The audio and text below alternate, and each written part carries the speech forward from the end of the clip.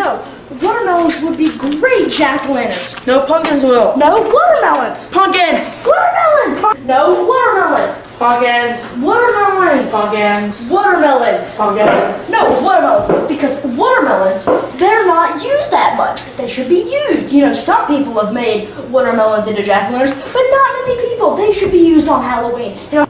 Can I get you anything, gentlemen? Yeah, we'll take two beers and a couple shot glasses.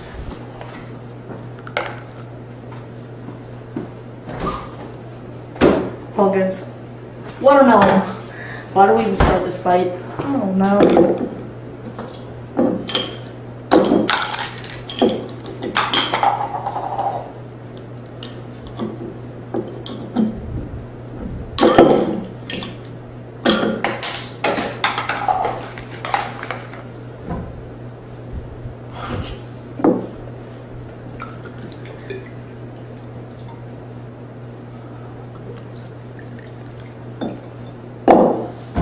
Thank you.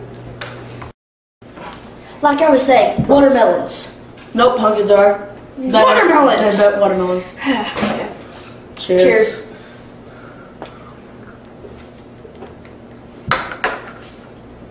Mmm. Yeah. I need another drink. Me too.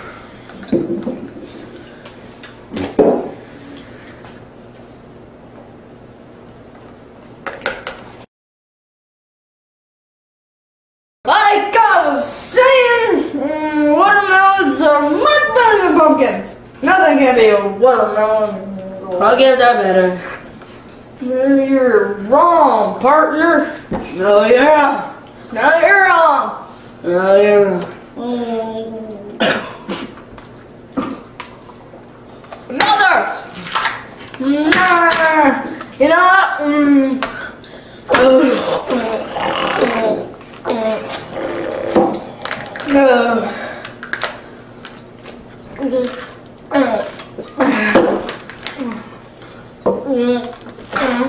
Right up. Up here. Pumpkins are better than watermelon. Uh, Is there an argument I can help you fellas solve? he says that um pumpkins would make better jack o' lanterns, but Pumpkins say- are better. I say watermelons, and I'm obviously right. Well, I have a solution to that problem. Here's my solution. See, I told you watermelons would be better. Bartender agrees with us, and everybody knows a bartender knows everything. They're the smartest people in the world. No. I told you so.